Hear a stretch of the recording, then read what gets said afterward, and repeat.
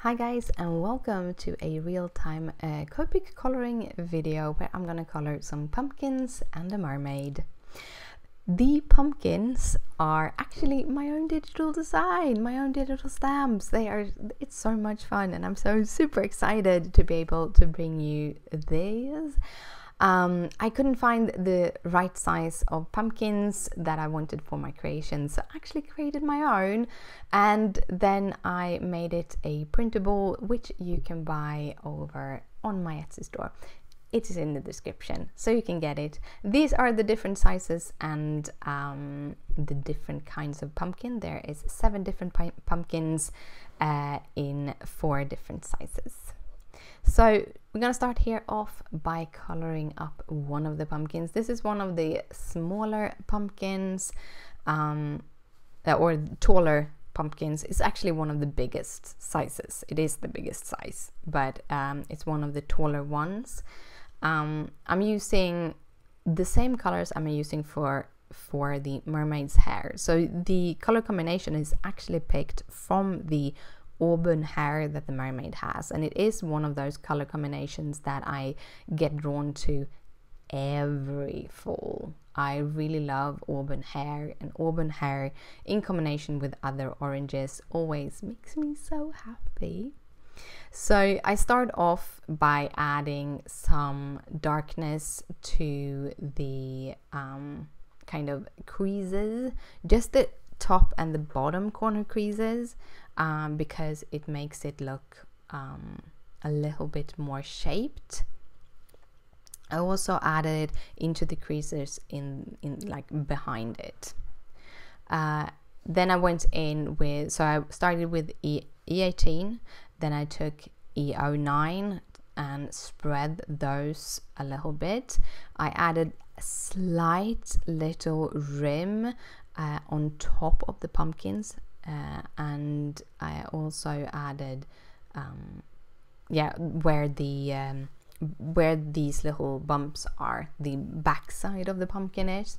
And that is so that uh, you see a difference between the back of the pumpkin and the front of the pumpkin uh, I know don't know how realistic having a rim light there is. However, it helps to separate the dark areas and help you see that there are bumps in the back and bumps in the front. Uh, when you're working with black lines like we have here, that is important when you color something black, but it's not as important when you color something as an orange pumpkin. However, it does give you that extra extra oomph.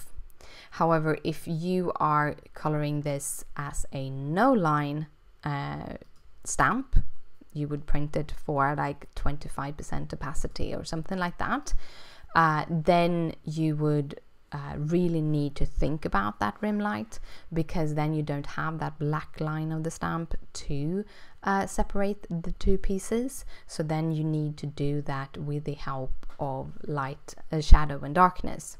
Uh, so if you wouldn't have added that little rim light on top, uh, those back bumps would kind of just go together with the rest of the stamp.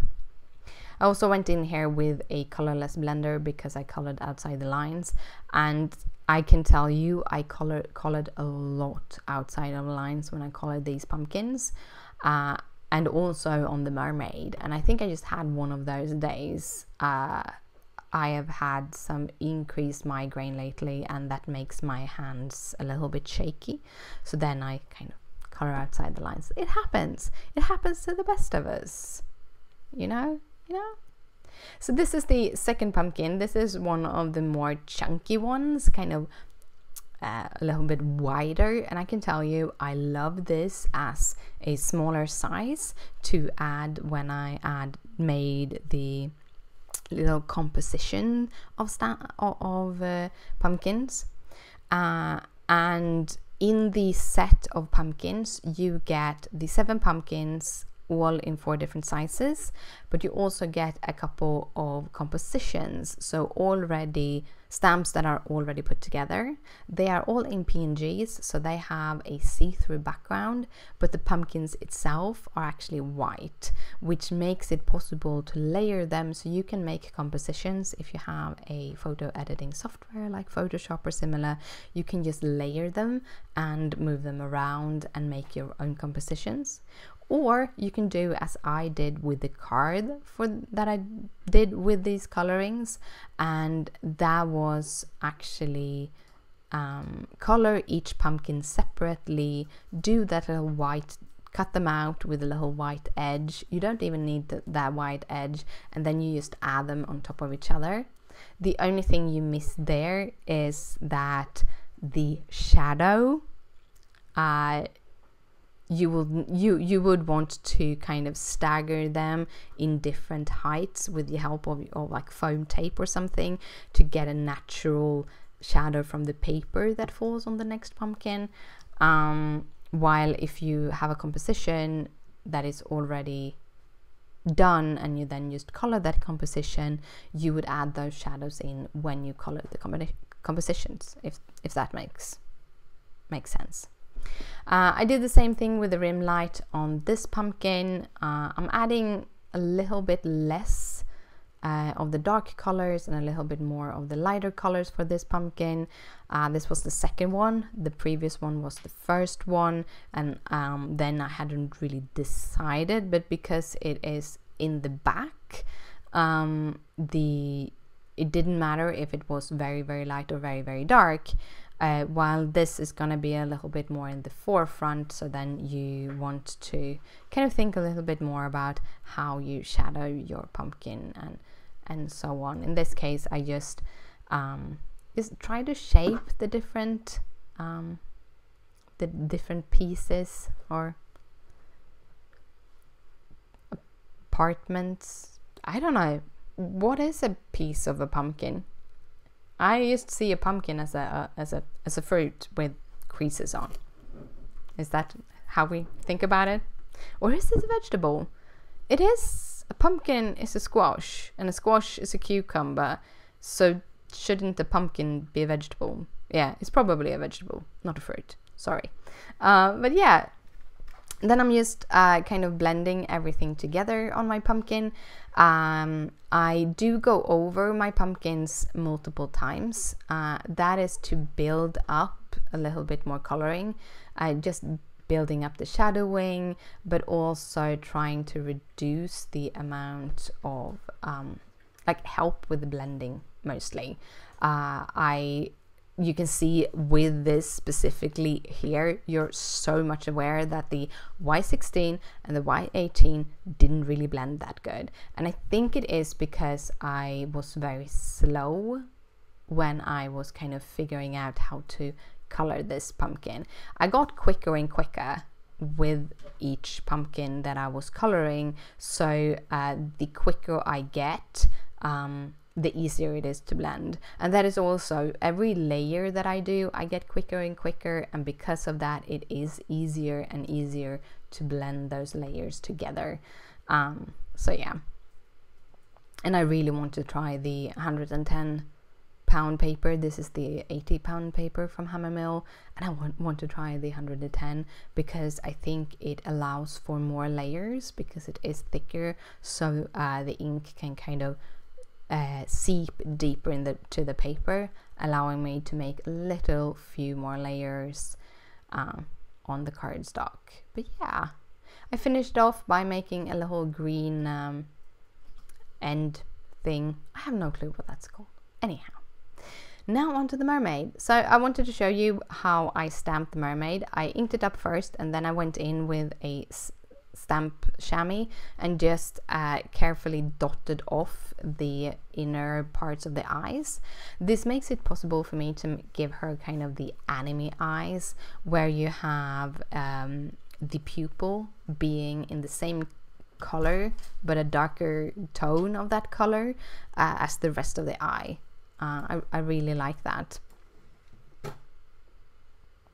And now my kitty decided to lay on my mouse, so hopefully this didn't didn't get all all muddly uh, anyhow. Uh, she's very like i want to cuddle with you right now and i'm just want to make this voiceover. Sorry. Kitty paws. Uh, anyhow for the face for my little mermaid i'm using my standard kind of uh, light skin tones. And i actually have a reason for this this time and that is because i wanted her to have a brown tail.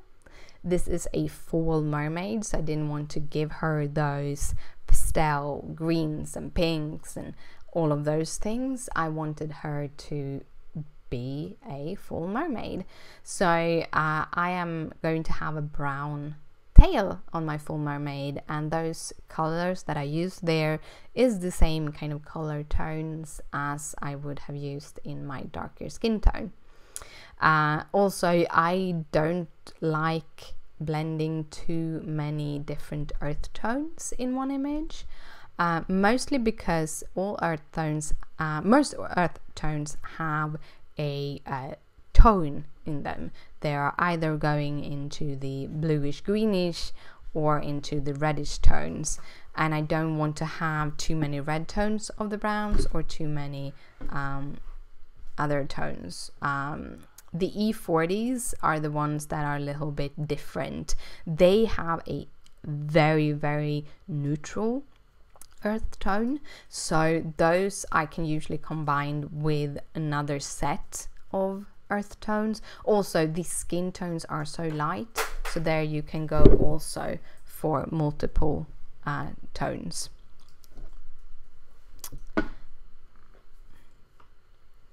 Um, I add uh, as I usually do, the little shadow between her eyes. Um, this is a thing that is actually picked up from babies. If you look at a baby, a baby usually have a little button nose. Um, they have their eyes are kind of bigger towards their head um, or towards their face than uh, for a grown up basically their eyes are the size they're supposed to be and will be when they're grown up but the rest of the face will kind of grow as you get older especially your nose and your ears because they keep on growing your whole life. They never stop growing. Um, so, uh, but if you look at an image of a baby, you will see that instead of having the bridge of your nose so very apparent as you have on an adult person, um, the bridge is almost hidden by this little bump in the face between the eyes. So that is where I have picked that up, and I really feel that um, it brings um, some more of that child childish tones uh, in it. Also, I make that little button nose again because children have small noses and I like making small noses. Um, and then um, I just uh, kind of blend in from the sides. I don't blend so much from the bottom up um, on the cheek because it, it gets can get very muddy if you take too much from uh, under the chin too much color under the chin. And also you want to have that little rim light uh, to um, between your the, the chin and the back of the hair and and also the neck just to build up a little bit more, more contrast I have started to go in when I do the body to not use the E04, which usually is my darkest color, and just go in uh, with the rest of the tones that I'm using. This is to reduce the contrast on the body and therefore build a kind of make you be drawn into the face more than just the the body. Uh, and usually the body is um, is smaller than the head and and so on on these kind of cute uh, chibi characters. Uh, I use uh, R32 and R30 for my pinks, uh, so I add kind of a good chunk of R32 uh, on her cheeks and then I blend that out. I also add a little bit of R30 on her nose and on the tip of her arms. um, and I blend that out with the E50. Uh, those are places where we have a little bit more of uh, subsurface scattering, where you see the blood vessels a little bit more, so that kind of makes the character come alive a little bit. For her face, I am doing the B60 and the B63 for the eyes. Uh, just as shadow accents uh, this kind of builds up uh, the eyeball a little bit. I did go in a little bit too hard with the B63 just around um, the kind of the dip in the eyes where we have that little soft pink thing. So uh, in the future, I'm gonna try not to use B63 at all at that area because it got very, very obvious um, on these eyes. For the eyes themselves, I started off with G09 and then realized that that was way too light to have as a pupil. So I'm going in with G29 for the pupil and then I blend that out with G19, which is a slightly lighter color, even though they're both nines. Um, the 19 is a little bit lighter uh, than the um, the 19 is a little bit lighter than the 29 and the 09 is also a little bit lighter than both of the other two. So then I just use those to gradually build up a really big eye. Um, I actually added a little bit more of, of that color than I usually do because I wanted to have more eye and less eye whites so sort of. For the hair uh, I'm using my absolute favorite auburn hair color and that is actually the same color combination that I use on my pumpkins and uh, I've chosen to go with that both for the pumpkins and for the hair for a trillion reasons. Well, the first one was that I really wanted her to have auburn hair. A full mermaid should have auburn hair was kind of my idea. Um, and and then I didn't want to go in with other oranges because if I would want to go for a more of a lighter orange for my pumpkins I would go for maybe um, the yellows the Y35 the Y38 the uh, Y18 even maybe Y19 um, those would be kind of my go-to colors for my pumpkin um, but I didn't want to have a very light pumpkin and also I wanted it to kind of mesh more with the auburn. So I decided to use the same pens for both. However the amount of color from the different uh, pens was what kind of uh, made the difference. For the auburn hair I first of all use quite a lot of the E18 because the E18 is a very beautiful brown and it makes it look a little bit more more brown. The hair than than orange. So i'm adding a lot more of that. I also add a lot more of that behind her. So where the hair is kind of a little bit covered by the rest of the hair um, just by her neck and so on. I use a little bit more of that because then it feels like that hair is further away and the front hair is closer to you. So that's why I'm, coloring that way. Um, but also adding it in just to keep that kind of more brownish auburn instead of a more orange hair. Uh, with the pumpkins, I used a very, very little of the E18, very selectively, just in these little crease corners, just to um, have that deeper color, that contrast, but not bring in the brown too much. My next color is the E09. Um, E09 and E08 are brown colors, but they're very, very red brown colors. So that is where I kind of build, start building up uh, the depth in the hair, um, kind of building the shadows, adding more of it, blending out some of that E18. E18, E09, and e, uh, E08 blends wonderful. I love using them but they're pretty dark, all of them. So to get a really auburn hair without it looking too brown, I usually use uh, one or two of the oranges to kind of just give that uh, shine a little bit more light. With the pumpkins, both E08 and E09 was also used pretty scaring, scaringly. Uh, the E09 was mostly in the creases, while the E08 started shaping the pumpkin itself. Um, so there you use very little of it, so you still keep that the bigger part of it being orange, and then your eye thinks, oh, the pumpkins is orange. While here, as I said, I'm using them much more and just um, leaving the slightest, slightest of whites here and there to be filled with the oranges. Um, and then your eye will feel, oh, this is auburn. It's a beautiful auburn.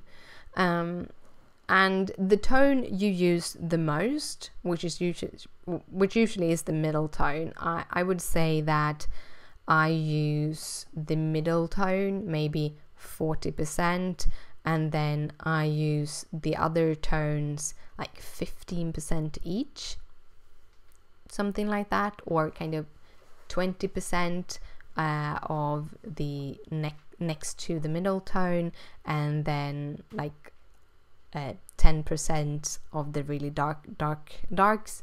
Um, but the mid-tone when you use it a lot that is kind of what your eye will feel is okay this is the real tone of the characters and then you have the lights as the highlights and the darks as the shadows but your eyes will see that the the tone there that used the most that is what we want to depict as the natural tone. So in the hair, that would be the E08 because that is what I used the most. While with the uh, uh, with with the pumpkins, I used the YR18 and YR16 the most, and therefore the body would feel that that is the most. Uh, but yeah, so uh, that is kind of how I use the oranges. I do end up using the same oranges for her eyebrows, um, mostly because I like doing that, making um, the eyebrows and the hair kind of look good together. Uh, sometimes I forget and I just use a brown tone for the eyebrows and realize what I've done, and then I'm like, yeah, but she, she had her hair dyed um, using pinks and purples for the hair and for the eyebrows. It's kind of fun. It's kind of fun. But today it was all auburn. So for the tail, uh, the tail is going to be brown as I said, it's the same colors I use for the face or similar colors. I think for the hair I usually use the 50s also. Here I or for the skin I use the 50s uh, also. Here I just use the E30s, um, the 35, uh, 33, 37 and 35. Um, just making um, first I covered it in E33 and I did that because one single layer of E33 can be a little bit too light so I wanted to be able to build up that. Um, then I used the E37 uh, to just make like dotted shadows uh, on those uh, little scales mostly where she would have been shadowed and then I went in with the E35 and added more just shadowing on top of those dots and then added some other dots and blended that out. And for the finishing layer, uh, I think I went in with the E33, just covering everything to to blend it together. Now I'm going to detail this with some acrylic inks, so trying to get it perfectly uh, I didn't really bother to make it perfectly and I also didn't bother about the contrast because I knew that my acrylic ink would hide that contrast anyhow so I just didn't um, use the same greens on her uh, kind of clothing uh, as on her eyes just to get that green together. If I had thought a little bit longer, I also would have used the same greens on the pumpkins uh, branches. Uh, but I, I colored the pumpkin first and realized that I didn't want to have those colors for her eyes. So that's how it is. For these little details, I'm using some acrylic ink in iridescent bronze. Uh, I really like this ink. Uh, I only have two acrylic inks, one white and one uh, bronze. I do love using, when I use white, do it white highlights, highlights though, I don't use my acrylic ink. I use um, either uh, some gouache that I have uh, blended out with just a little bit of water or I use my jelly roll pens because they are easier and they have better coverage. Um, but for this like iridescent ink, um, I love it. And also, I dipped out and gave it like three drops. I could just have had one drop because I'm not using up all of that ink. Um, and it also stays very good as long as you uh, close the cap uh, di- directly. So I think I had this bottle for like three years or something. It's still in perfect condition. And um, if it continues to be that way, I can probably use it for 20 years. So even though it's a little bit more of an expensive product, uh, you can use it for a very long time. And you you only need a very very small amount i have some ideas that i want to use this acrylic ink for like backgrounds and, and background detailing and stuff like that but uh, right now i just haven't had time to experiment with it but I did end up just adding a little bit uh, of that here and there, both for the scales, for her upper part, and a little bit on the tail, just to give the tail some of that um, metallic glimmer too. But yeah, that is the end of my coloring for today. Uh, I hope you liked it. If you do, please a thumbs the video up. If you have any questions or comments, just leave them down below. Down below you can also find the link to my Etsy store where I have my new digital stamps, which for a short time are on sale. So if you want to grab them, grab them now. Thank you again for watching. Um, if you want to see more like this, hit that subscribe button and I will see you later. Bye!